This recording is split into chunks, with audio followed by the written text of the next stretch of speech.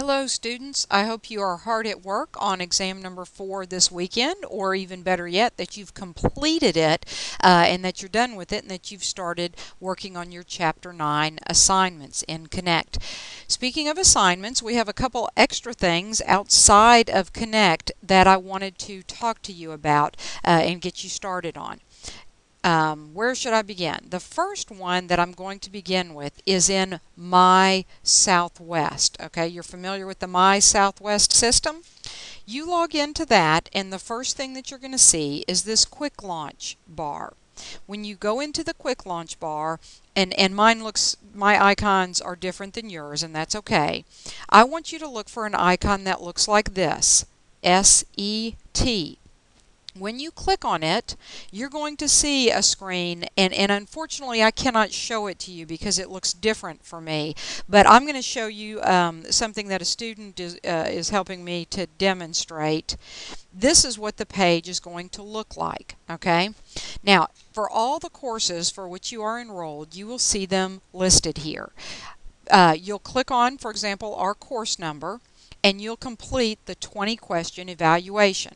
Uh, you'll, uh, the questions include, you know, ranking me as well as the book and uh, the uh, online facilities on a scale of 1 to 5, but most importantly it allows for comments and the comments are very useful for me. After, uh, you know, I, I, use those. I actually uh, modify my course based on uh, some of the feedback that I get from students. Based on that, um, or after you click submit, and you only get to do this one time, it will say, and see how it says here, uh, maybe I can make this a little bit bigger, it will say, yes, you know, evaluation taken, yes, thank you. Now, you cannot stop there.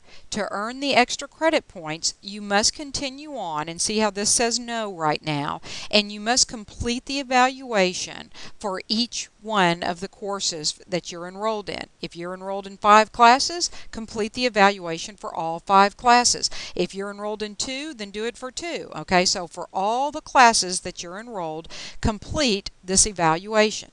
Now, you notice that I am looking at what the student was looking at on her screen. Okay, how did she send this to me? She did what's called a screenshot or a, a screen capture. If you've never done that before, then let me come back over here and let me go into PAWS. And in the Dropbox area, this is where I give you the instructions about that extra credit. So I'm going to scroll on down. You'll see your grades are posted uh, for these assignments. And this is your very, very last extra credit assignment. And when I click on that, Eval Successful Completion page is what that's called. I'm going to tell you how the course is set up, why I designed it the way that I did. Um, I remind you that you must complete the evaluation for all your courses. And if you don't know how to do a screenshot, okay, or a screen capture, then notice here that I have a YouTube video that will explain how to do that. And so you can follow those instructions.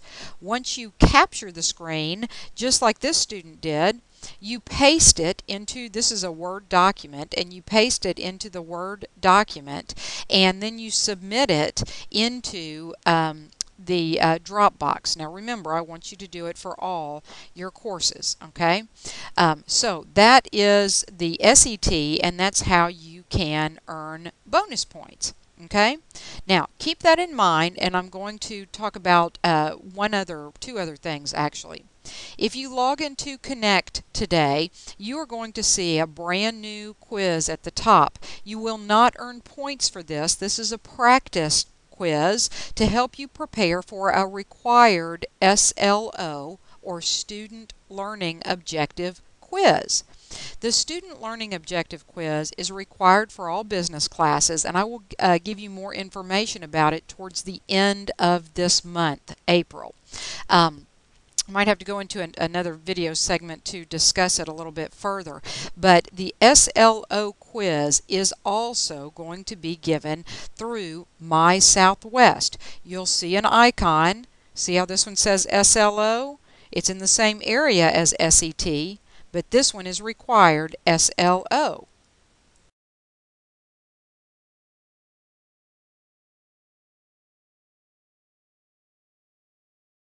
Okay, So what is the SLO exam? Because you'll come into this screen and you'll click it closer to the end of the semester and you'll take a 15 question multiple choice quiz. Now, what it covers, this is the syllabus for our class.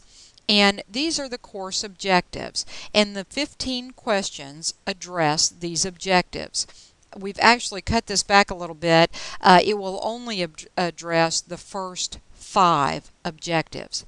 I'm going to ask you three multiple choice questions on each one of these first five objectives. Okay? You only have one attempt at it. Uh, it will be password protected, and I will give you more information before the last week of classes, which is when this quiz will be available to you. One thing I want to mention to you, I made a little mistake, and you may have already seen this if I go to the schedule.